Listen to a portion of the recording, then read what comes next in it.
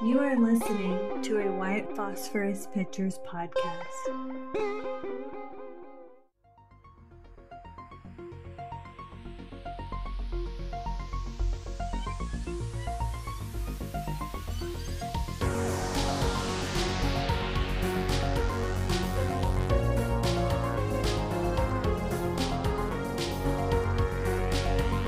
Broadcasting under the night sky from the edge of an undisclosed jungle on the Gulf of Mexico. I'm Christopher Garetano, your voice in the night. For the next hour, allow me to be your guide into the bizarre unknown, the fantastic macabre, and together we'll journey to that borderland between fiction and reality, a place beyond all rational explanation. We are now off to the witch.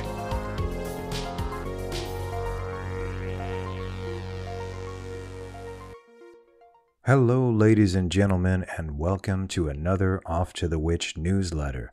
For those of you who are just tuning into this podcast for the first time, uh, this isn't one of our regular episodes. Every other week, uh, I have decided to do an Off to the Witch newsletter where I can further discuss what's up ahead, what we previously did, bringing more details into the situation, and it's much more of a free form uh, podcast than the usual podcast. So in this case, I get to uh, speak my mind for a little while. It's quite a busy time right now. I have several projects happening at once. And um, one of the things I just released recently is a uh, new web series called Between Fiction and Reality.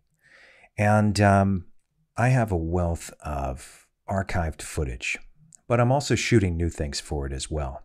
And um, the first few episodes uh, are me reflecting on a lot of things I've done before, investigations. You know, I've I've personally explored many different types of paranormal phenomena, conspiracies, strange happenings.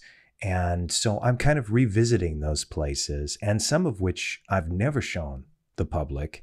So, one of the things I wanted to talk about briefly um, is that I'm starting to upload all of my back catalog of Off to the Witch to my YouTube channel. And that's um, YouTube at Off to the Witch. Uh, there's a variety of things happening there. And, um, you know, I designed this podcast so that the episodes don't expire. Uh, you know, perhaps the newsletters do, but the actual episodes don't they're stories. And the idea was to have stories that somebody could listen to 30 years from now and still get something out of it. To not feel like it's some news report or we're talking about current events or something that's happening through celebrity gossip or anything that expires. I'm not interested in that, uh, or at least not interested in creating that. So Off to the Witch was designed so you could listen to it in years to come and still enjoy these stories being told by a variety of people uh, with a, a multitude of subjects. And that was the idea always. That's that's applicable to my television shows and um, anything I write about. I, I want it to last. I want it to have legs that go on.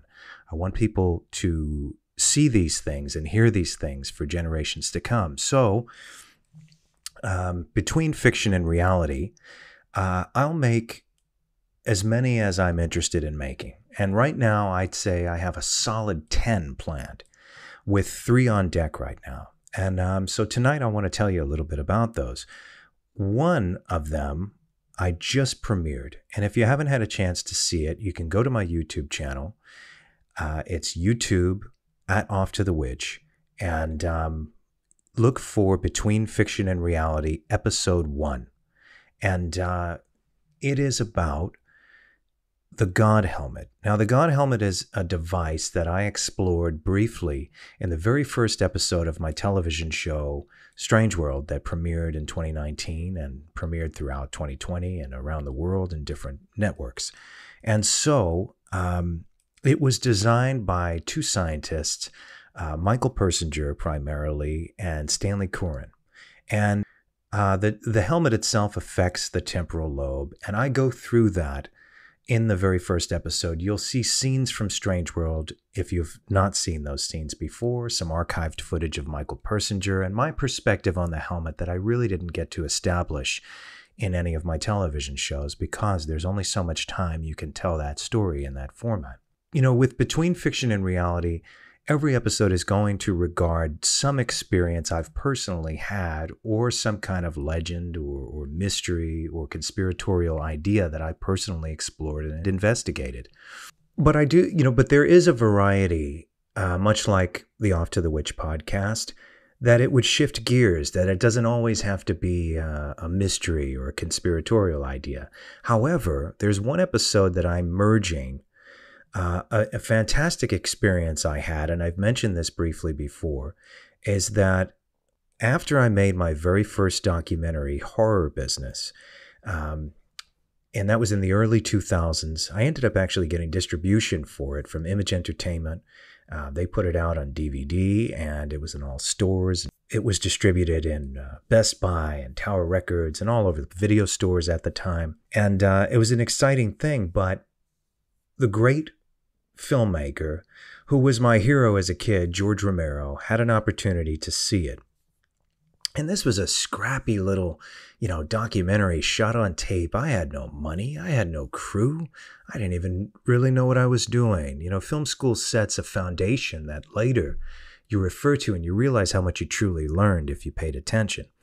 But the true uh, film education begins after film school, and that's up to you how far you want to take it. You know, if you want to be part of the of the greater good, so to speak, a crew member, career crew member, which we need, um, then you know that's your choice. But if you decide to be a movie maker, then you must learn, in my opinion, a great movie maker understands every job on the set, and at some point, one way or another, has done every job and understands it.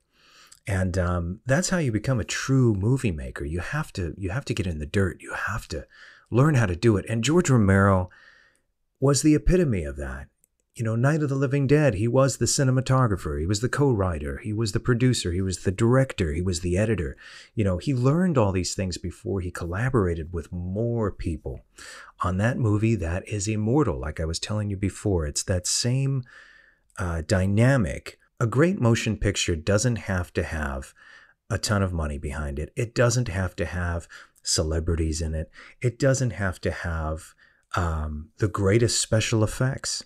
Movies like Night of the Living Dead had none of the above, okay? And it will stand the test of time forever. Someone's going to be watching that movie as long as humans have eyes and they have an interest in cinema. Night of the Living Dead will be viewed Night of the Living Dead will be experienced and celebrated. And that is what a bunch of somewhat inexperienced movie makers created. And so George saw my documentary, my scrappy little documentary horror business, and um, found an interest in it, as, as did a few other people. It was, it was an interesting time. You know, I had uh, mutual friends here and there that passed my movie on to some some fantastic people that I loved watching their movies growing up. But in the case of George Romero, it was very much by fate. I was at a screening of his movie, The Crazies, and um, you know he had made the movie in the early '70s and uh, was was having a kind of a revival showing of it, and uh, at a cinema arts center in New York, and uh, I handed him my screener just like probably a hundred filmmakers did that day. And I never expected to hear from him. he's a super nice guy, but you know, you can't expect these movie makers to respond to every single person. And perhaps he did, I don't know. But all I know is he responded to me. And he loved horror business. He really did. And he wanted to be, he wanted to know if I was doing a follow up or what I was doing next. And at that time, I was shooting a few different documentaries. And uh, I said, Yeah, I'm shooting a second volume to horror business. And I was calling it at that time Son of Horror Business. I shot a bunch of footage for it too. So, anyhow, George Romero loved that documentary and invited me to the set at the time of his new Living Dead film, Diary of the Dead. And so I accepted his invitation and I went to Canada, to Toronto. And um, I, by his request, met with him. His producer, Peter Grunwald, invited me into George's trailer, introduced us, and I sat down and talked with him. And then I kind of broke out my camera and uh, interviewed him and continued to shoot footage of things that I had only dreamt of being a part of, like sitting with George and John Harrison and Greg Nicotero and all these people that were on set in a kind of a huddle while he was planning a scene. I, you know, I'd seen bits of that in documentaries before, but I was sitting there, you know, with my childhood hero while he's directing a Living Dead movie. It was certainly a dream come true. I met some great people on the set and the cast and crew, and uh, it, what an experience. So, when we went into lockdown during the pandemic, I started to shoot something called Of the Dead, uh, remembering Romero in isolation. And so, as projects evolve, and as I'm a creative person and I keep those creative doors open all the time for that evolution of a project, that I feel it would be fitting for everything I shot for Of the Dead to become an episode of Between Fiction and Reality. Now, this format that I've created, uh, this web series, allows my commentary because you'll see me speaking about how I felt directly and everything that I shot during lockdown, which was quite an emotional time. And I'll explain why in the actual episode. Uh, what was going on in my life at the time? It was it was crazy, just for everybody else too. I'm sure everybody has their own unique experience. This was mine, and I was truly thinking about George at that time you know, he had passed away so previously to that time. And, um, you know, I started to think about the basics of his storylines in regard to his Living Dead pictures and in regard to the crazies. You know, this um, this super flu, this uh, this tricksy virus that's affecting everybody. Well, we we kind of lived through that. The way people were acting. I mean, if George was alive, during 2020, what a commentary he would have made following. I know he would have been inspired. And in a way, he was still there because during lockdown, I had received a pre order of a book called The Living Dead, which was finished by Daniel Kraus, but was written by George Romero. And, um, you know, it, it was a wonderful feeling to have to receive that during the time I was shooting this of the dead. So, the third episode of Between Fiction and Reality will be called Of the Dead and will be my perspective of not only meeting George, you're going to get to see all this footage too because I carried a camera with me everywhere I went. So I, I captured these things. And this is the first time I've really shown anybody. I've only shown a few close friends this footage from the set of Diary of the Dead, my time with George, and um, even the footage for Of the Dead so I'm merging these things together, and I think they would make the perfect episode of this new web series, along with this new interview with myself. Well, one thing I truly wanted to discuss, at least in, in my confessional type portions of this episode, is that I will talk about the possibilities of a George Romero film come to life. Now, I I believe we've lived quite a bit of it. Believe it or not, you know, this isn't just social subtext you know, and cinematic subtext. Um, this is reality. We're living in this reality. I think people desperately want to escape sometimes how bad things can get for us. And they're pretty tough right now, believe it or not. You know, um, some people are oblivious and they don't realize what's truly happening. But a good deal of us do and realize we're in deep trouble if things don't change. And we very well could end up like any of George Romero's Living Dead pictures or uh, Cormac McCarthy's The Road or, or something like that. There are a variety of things that ca- could happen. I'd like to discuss these elements the best I can in this episode. And so, Of the Dead will be episode number three. Uh, but the second episode, the one that's coming first, is going to be about the North American Sasquatch stories. I started shooting a Bigfoot documentary. I've discussed this in a previous newsletter. I have so much footage of this Bigfoot documentary that I was shooting that I think to finally complete it, you know, I've I've not released any of it. I shot a lot of behind the scenes stuff. And so this is a journey into the unknown while I was shooting that documentary. One of the places I went to was Estes Park, uh, Colorado. And while I was out there to shoot footage for this Bigfoot documentary, I stopped at the Stanley Hotel and I wanted to go there, so it was planned as part of this trip. The Stanley Hotel is what inspired Stephen King to write The Shining. And so I needed to go there, and it has its own ghost stories, like many old hotels do. You know, frankly, one of my favorite Stephen King stories is 1408 Great movie, too. Um, and that is also about a haunted hotel, but a haunted hotel room in New York City. And when I first heard the premise, I had not read the short story at that time, and I later did, and I enjoyed it. But um, when I first heard the premise for the film, I thought it was a little hokey, and I was like, ah, I don't know how I'm going to wrap my head around this. It might not be that great. It was fantastic because it's all in the the the dimensional philosophy and the execution of it. And after I've had my own experiences, wow! I mean, in its own right, 1408, the motion picture, is is many in many ways it's just as powerful as The Shining. And if you haven't seen it and you love a good ghost story, you should check it out. It truly is a unique film, and it's very underrated. Uh, 1408 stars John Cusack, Samuel L. Jackson, and uh, you know it's a it's a fantastic Stephen King adaptation. It's one of the best ones, and um, I think it was overlooked. You know, sometimes the advertising isn't great, expectations aren't high, so people don't see things. But I think over the over time, 1408 has grown a following. When I talk about it to people who haven't seen it, I try to explain to them, well, you know, Robert Wise's The Haunting, Robert Wise's adaptation of Shirley Jackson's book, The Haunting of Hill House, was one of the greatest cinematic ghost stories ever, you know, ever put on on film.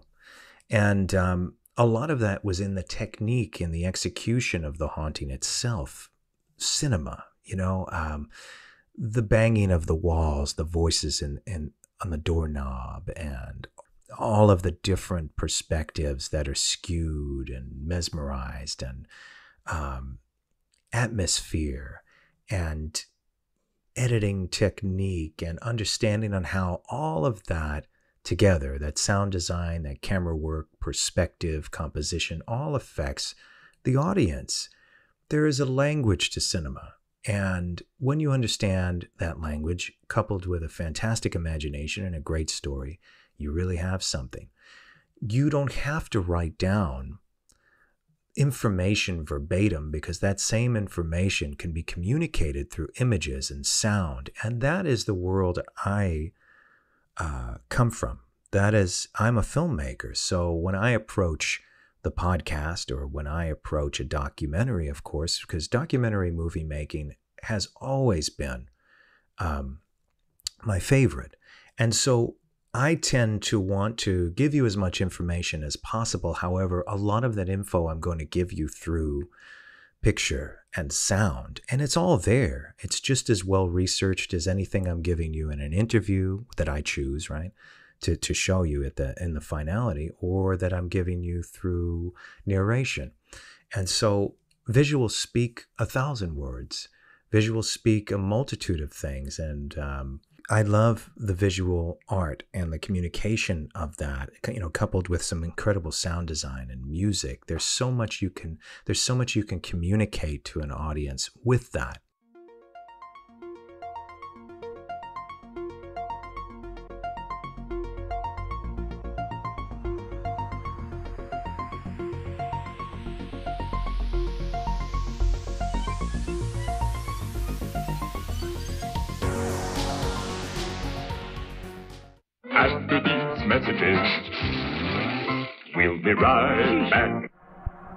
Are those who say that this quiet town holds many secrets.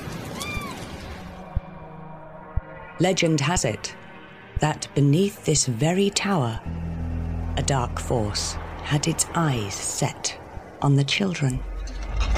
We were told that what was going on there was for the benefit of humanity.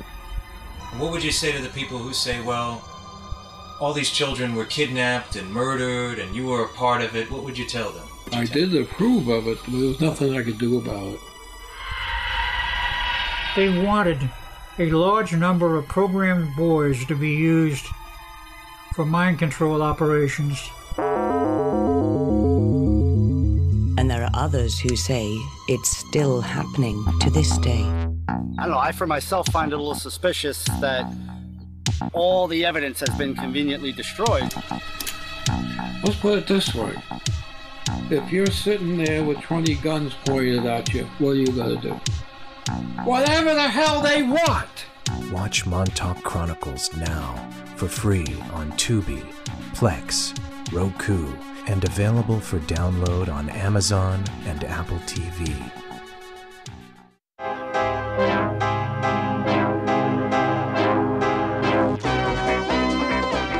This series presents information based in part on theory and conjecture. The producer's purpose is to suggest some possible explanations, but not necessarily the only ones, to the mysteries we will examine.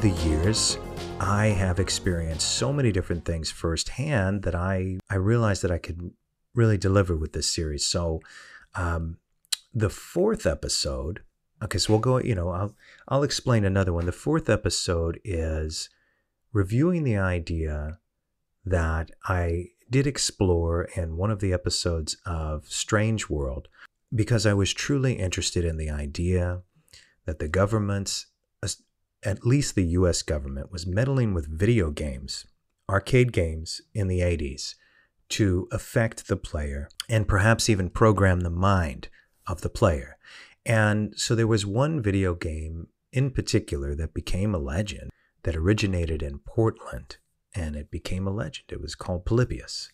And um, so I was on the lookout you know, uh, first, I just want to preface this by saying that all of the adventures in Strange World were something that I was truly interested in investigating.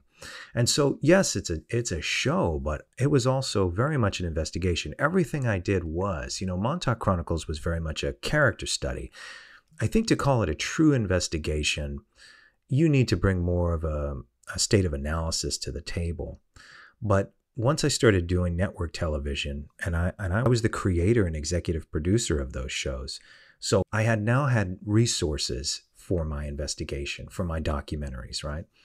And in the episode, I spoke to everybody from a famous skeptic to the co-creator of Atari, uh, Nolan Bushnell, and you know he opened my eyes 100% to the confirmation that this was not simply a legend. Yes, there are embellishments. Yes, there are people who want to uh, perpetuate these urban legends because they're fun, because they love telling stories. People love telling stories. I love telling stories. But I found this middle ground where we don't need to lie about things. There are so many bizarre things that have happened throughout history, oceans of stories that can be told that um, you know with a little effort you can find people who have experienced these things themselves. And so this is partially my philosophy is that i would much rather go and visit these things myself than speak about them secondhand. And so i do. And so this was one of them and i traveled to the source to portland. I traveled all over the us actually for um, all the episodes of uh, of strange world and outside of the country. So ultimately, especially after speaking to uh, Mr. Atari himself, Nolan Bushnell, and uh, I realized that Polybius was almost stage one. You know, there certainly was some influence in arcade games, 100% been confirmed. But the idea now is what has been the influence, let's say, since the late 80s, throughout the 90s, throughout the 2000s? Uh, and is there a nefarious trigger inside games? Is it intentional? These are great questions that I will bring up, and I'm going to um, I'm going to answer them with some things that I found, and others I um, just going to hypothetically discuss certain situations that I haven't been able to confirm, and I'll never assert that I know the answers it's one thing that frustrates me about a lot of people who claim they're truly investigating these things is that they assert that they know the truth 100% of some things that are quite fantastic and that we have no evidence of whatsoever. Nobody does. And so the idea is the presentation should be, well, I highly suspect because, and fill in the blank. It should never be, unless you have proof, honestly, because what it does is it damages the credibility of the people who've experienced but can't produce proof. So there's one way of explaining something is that I, no matter what, even though I don't have any physical proof, I have experienced this. I know I experienced it, and you and you stand your ground for that. I, I've seen people that claim they know the secrets of the universe and they have nothing to produce or show for it, and um, that just takes the credibility away from from the supernatural, from things that a lot of us, you know, my listeners right now and, and myself, know that it there's something else to this world and science itself has, has uh, certainly proven it in several ways already and is coming close to proving it in more ways as we go forward. I'm sure of it. I'm going to talk about these things in further detail and I'm going to review some places first that I've already looked at and a lot of footage that you haven't seen. And from there, what I'd like to do is to continue to make these, and I and I really do have a full plate, and I have these feature length documentaries coming out that I have to finish and shoot more of, and um, but I really do enjoy making between fiction and reality, and I'll keep making it uh, the best I can. If uh, you're a listener of Off to the Witch, a steady listener, or a new listener, go over to the YouTube channel subscribe, hit the notification bell, and have a look at the very first episode. If you like it, put a like on it. If you enjoyed it and want to say something to me, put a comment on it. Um, that's what's going to keep this thing alive because right now I'm making this gratis for everybody to view for free on the channel. And um, if, you know, the idea is to help that channel grow and I'll be able to put more things on there for you. Uh, I will start a Patreon eventually down the road. And um, I'm just like I'd said many times before, I really want it to be worth your while and I want to put as much as I can in there. Well, there's a lot coming, a lot of behind the scenes of everything from Haunting We Will Go to Monsters Among Us to The Phantom Killer. Those are the three feature length documentaries in the new um, TV streaming series. But for the YouTube series too, um, there's so much we can do. And another thing is, um, I decided that uh, I'm putting the back catalog of Off to the Witch on YouTube as well. Um, as I mentioned earlier, you know, these episodes don't expire. And one thing I'm doing, I th- I'm uploading them on um, Friday nights, Sunday nights, and maybe one other night. There's a lot of them. You know, we're getting close to 100 episodes. So um, little by little, I'll put them on and they'll have premieres. So there'll be a live chat if you want to come in and talk to me. I'll always peek in and see what's going on. And I've done a few so far, but I haven't really set a schedule. So I'll put out a, a little news post about that. And so I encourage you to go and follow me on social media. You know, um, you can go to my link tree at Garetano7, G A R E T A N O number seven, and um, subscribe to the YouTube channel. I am also planning on a couple of live streams. What I figured I'd do is follow up every episode of Between Fiction and Reality with a live stream and maybe a few here and there, uh, just to discuss a certain topic that I'm interested in. So, as these live streams go, I'll probably build up to it. I'll announce it maybe a week or two weeks before I actually do it, just so it kind of builds up to the first live stream. And let's see how many people we can get in there. And uh, if my rants and raves are interesting enough for you. Um, but I'll come in with something interesting for you. And, uh, maybe bring some items with me to show you and um, try to do something different with a live stream. We'll have a good time. You know, I'll have some great stories to tell, and I'll, I, I, you know, I'm also, I want to hear your stories. So I hope a lot of you uh, come with some tales you want to tell me. Uh, and we can discuss your experiences as well. I mean, I have plenty of formats where I'm offering my own, so I'd love to hear yours. And I think it's going to be a wonderful opportunity for me to even hear some fresh voices, and perhaps uh, you'll be a guest on Off to the Witch. So, or even a future documentary. So, I think I've covered quite a bit here, and I am so excited for um, all of the above. You know, the new docu-series Off to the Witch Presents, which includes uh, a Haunting We Will Go, Monsters Among Us, The Phantom Killer, and I have others planned, but I'm not going to talk about them right now. It is coming out so beautifully. And obviously, it's a different format than uh, between fiction and reality, but I'm excited about all of these. This is all that I've dreamt of creating for my entire life. You know, I was a kid when I wanted to do these things, a child, you know, we're going going back to the 80s. And so, you know, now it's finally here and uh, what a wonderful time we live in where you don't have to get permission like I have had in the past. I've, you know, and I still, I'm, I'm, I'm grateful that I have this opportunity to go into a boardroom and pitch and convince somebody to invest quite a bit of money into a, a network show. However, it's also a glorious time for creators that want to have and should have the final say in their work. It's um, the ball is in your court, but that's a good thing if you know how to play. And uh, so I, um, I'm excited for the time we live in.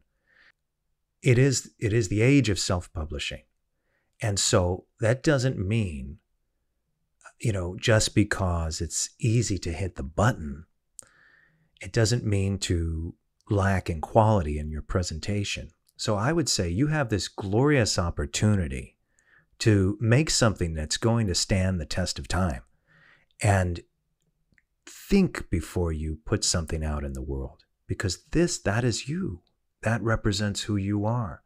And so, if you're going to create, if you're going to speak, just spend a little time planning it. You have this glorious opportunity to show the world hey, the age of self publishing is viable. And, and the world is showing that because I love the fact that the audience, and I'm one of them too, doesn't care where the stuff comes from anymore just as long as it's something they want and something they enjoy and something they love.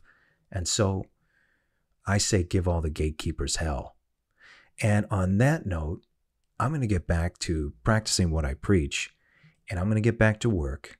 And I wish you all well. And I hope to see you in these live streams that I'm about to do. And I hope you come to the YouTube channel and subscribe and check out everything that I'm putting up there. And if you're a steady listener of Off to the Witch or a new listener, and you haven't heard the back catalog, these episodes are stories that will stand the test of time. And if you haven't heard an episode, it's not old. It's brand new for you because the whole idea was that this was going to be listened to for years to come, every episode. Uh, maybe not the newsletters, but the actual episodes of Off to the Witch, go back and check them out and enjoy them and enjoy the stories if you haven't heard them. And um, and now I'm simulcasting on my YouTube channel. So every Wednesday night, you're also going to, it'll premiere on YouTube as well if you prefer YouTube to the regular podcast formats uh, or platforms. So, ladies and gentlemen, thank you so much for tuning in to hear my rant tonight. I will return next week with a brand new regular episode of Off to the Witch, and I will see you next time. Take care.